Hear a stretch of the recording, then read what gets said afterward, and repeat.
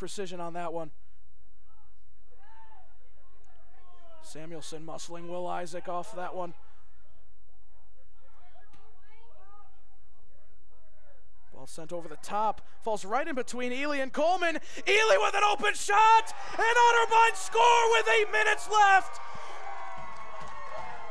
And Ely getting the best of the All American Coleman, and that is a crucial goal for the Cardinals.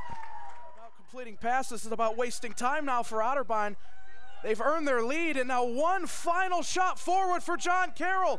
Here comes Greca. Kalick through Koenig.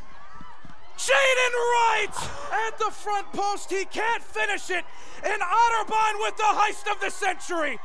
What a win for the Cardinals. And it's absolutely excruciating for John Carroll, but you have to admit Otterbein have earned this one.